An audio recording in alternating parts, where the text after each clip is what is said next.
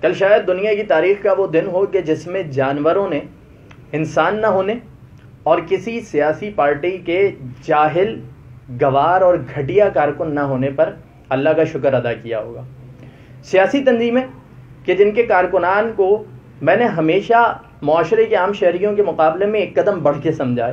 اس کی وجہ یہ ہے کہ ان کی تربیت کی جاتی ہے، انہیں بولنا آتا ہے، انہیں چیزوں کو گہرائی سے دیکھنا اور سمجھنا آتا ہے۔ لیکن آج سیاسی کارکنان کا حال یہ ہے کہ ایک سیاسی تنظیم اپنی انتخابی ریلی نکالتی ہے۔ راستے میں انہیں مل جاتا ہے ایک گدھا۔ اب وہ گدھا واللہ عالم اس پہ پہلے سے کچھ لکھا ہوا تھا، یہ لوگ یہ بھی کہتے ہیں کہ اس گدھے کے اوپر اسپرے سے نواز شریف لکھا جاتا ہے۔ آپ کی سیاسی مخالفت کچھ بھی ہو، لیکن ایک جانور کے جسم پہ ایک انسان کا نام لکھنا کیا یہ کوئی جائز حرکت ہے؟ اور دوسری جانب پھر یہ ہوتا ہے کہ جب یہ نام لکھ دیا جاتا ہے، اس کے بعد اس بیچارے مظلوم گدھے پر لاتوں کی، گھوسوں کی، ڈنڈوں کی بارش کی جاتی ہے۔ اس کی ٹانگ توڑ دی، اس کی ناک توڑ دی، اس کی آنکھ سے خون بہنے لگ گیا۔ وہ گدھا کہ جس پہ عام دنوں کے اندر جتنا بھی آپ بوجھ ڈال لیں، جتنی گرمی کیوں نہ ہو، وہ ہانپتا رہتا ہے، لیکن وہ نڈھال نہیں ہوتا۔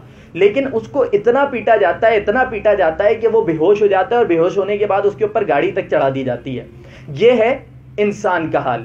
یہ ہے اس میرے رب کی اس مخلوق کا حال کہ جسے اللہ نے اپنی تمام مخلوقات میں افضل قرار دیا ہے، جو کہ آج جانوروں سے بھی بدتر ہو گئی ہے اور اپنے عمل سے اس بات کا مظاہرہ کر رہی ہے کہ وہ تو جو جانور تھا، ہم اس سے بھی گئے گزرے اور اس سے بھی گھٹیا ہیں۔ یہ گدھے، یہ یہ کون ہے یہ انسان کے لیے باعث روزگار ہیں، روزگار کے حصول کا ذریعہ ہے لوگ گدھا گاڑی چلا کے اس سے روزی روٹی کماتے ہیں، لیکن آج انہی کو پیٹا جا رہا ہے۔ اور اگر دوسری جانب اس بات کو چلیں تو ایک دنیاوی بات ہو گئی، اس کو سائڈ پر رکھیں تو ایک بات ضرور کہوں گا کہ ہم سب کے سب مسلمان ہیں۔ کلمہ پڑھتے ہیں، نبی مہربان صلی اللہ علیہ وسلم سے محبت کا دعویٰ کرتے ہیں۔ ایک مرتبہ نبی مہربان صلی اللہ علیہ وسلم کے سامنے سے ایک گدھا گزرا جس کو داغا گیا تھا۔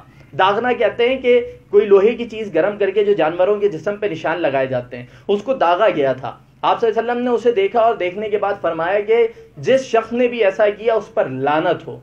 تم نے تو اس بیچارے مظلوم گدھے کو جو نہ بول سکتا ہے، نہ سوچ سکتا ہے، نہ سمجھ سکتا ہے، مار مار کے ہلکان کر دیا۔ سوچو تمہارے لیے کیا احکامات ہوں گے۔